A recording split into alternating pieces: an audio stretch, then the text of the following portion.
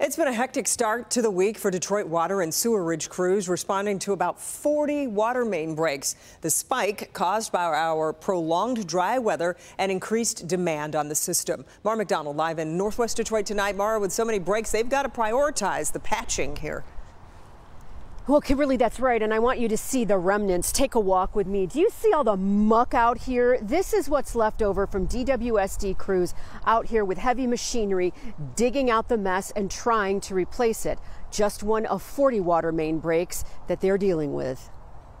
Blame the 90 year old pipes, 17 days without rain, and a higher than usual demand.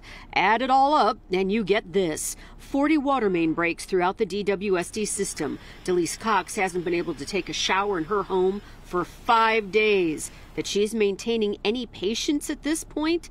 Well, it's impressive. I'm not even sure we can seriously um, have a measurement for it. I've just know that it has been definitely a uh, true test of my will.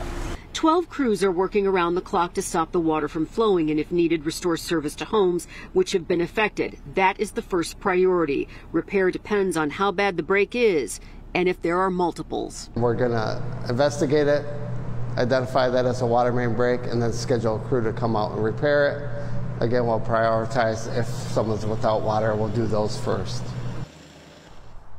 Back here live, neighbors on this street are, you know, they're happy they see the repair. They're just worried it's not going to hold because they've had these issues off and on since last week. Delise, who you heard from, bought 50 bucks worth of water from Sam's to try and get through the gap.